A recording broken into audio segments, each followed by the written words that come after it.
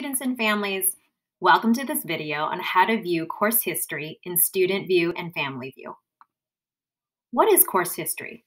A student's course history is an up-to-date list of all the classes they've completed. For some, that can go back as early as sixth grade if they took courses in San Francisco Unified. So how does a student view course history?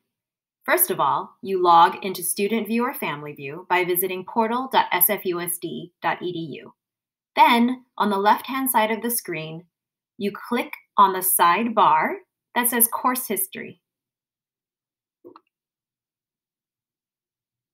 When another screen opens up, on the line that says Student Course History, click the toggle button from off to on. Make sure it's green. And then your course history should appear. To watch a video on how to view your unofficial transcript in Student and FamilyVue, refer to the link in the description box below. And thanks for watching!